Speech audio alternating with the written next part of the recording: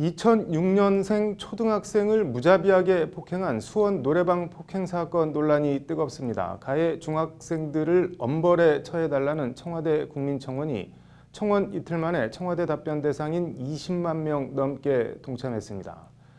이른바 소년 범죄는 갈수록 흉포해지고 있는데 이번 사건이 또 터지면서 죄를 지어도 처벌받지 않는 이른바 촉법소년 연령 하한 조정 문제가 다시 뜨거워질 것 같습니다. 장한지 기자입니다. 노랫소리가 시끄러운 경기도 수원의 한 노래방. 한눈에 봐도 앳돼 보이는 어린 여자아이가 머리는 헝클어지고 얼굴엔 피를 잔뜩 흘리고 있습니다. 피를 흘리고 있는 아이는 이제 초등학교 6학년. 친구를 사귀는 문제로 지난 21일 저녁 6시쯤 수원 한 노래방에서 중학생 언니들에게 집단 폭행을 당한 겁니다. 가해자로 지목된 7명의 여중생들은 모두 만 14세 미만으로 죄를 저질러도 형사처벌을 받지 않는 이른바 촉법소년입니다. 해당 동영상이 인터넷을 통해 퍼지자 가해 학생들을 엄벌해야 한다는 여론이 들끓었고 청와대엔 어제 관련 청원이 올라왔습니다.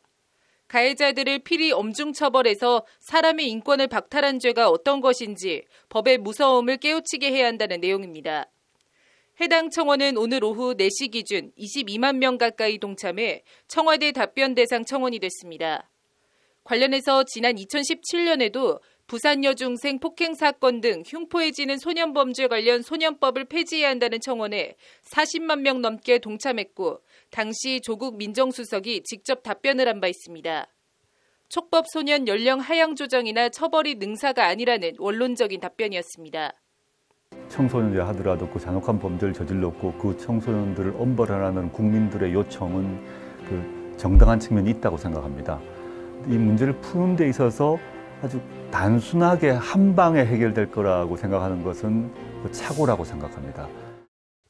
일단 수원 노래방 폭행 가해 학생 7명에 대해 경찰은 어제 법원 동행영장을 발부받아 소년분류 심사원의 신병을 인계했습니다.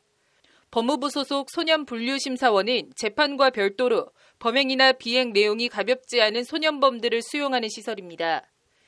하지만 14세 미만 형사 미성년자, 촉법 소년의 경우 보호 처분이나 사회봉사 명령 등을 내릴 수는 있지만 법적으로 범죄 행위 자체에 대한 처벌을 내릴 수는 없습니다.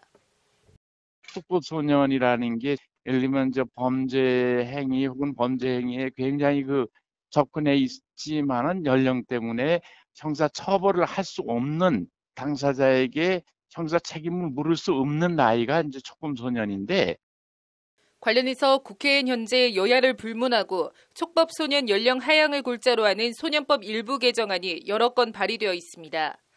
소년부에 다는 게 아니고 형사법원에서 성인과 똑같이 그 책임을 상응하는 처벌을 할 수 있도록 어, 소년부 정치 제한 관련된 것도 국회에 발의되어 있고요. 음. 그다음에 소년에 대한 특례들이 좀 있거든요. 형사 특례들. 네. 그걸 좀 강화하는 방향으로 저희가 하지만 여야가 정쟁에 휩싸이면서 법안 논의는 지지부진한 상태고 소년범의 경우 처벌 강화가 능사가 아니라는 반대 기류도 여전합니다.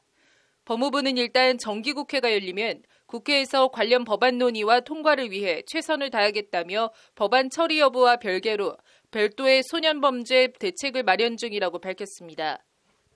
국회 열리면 바로 이제 이 부분이 상정이 되면 어, 계속 논의를 좀 해서 뭐라도 결과물을 좀 이끌어내야겠죠. 또 다른 정책적인 부분에서 어, 소년 아이들 범죄를 막을 수 있는 걸 좀 검토하고 있거든요. 보관 처리라든지 이런 정책인 것들은 정해지면 바로 이제 일선으로 폭행 등 청소년 범죄나 비행 사건이 발생할 때마다 양은 냄비처럼 발작 들끓고 마는 것이 아닌 심도 있는 논의와 종합적이고 체계적인 대책을 마련하는 것이 필요해 보입니다.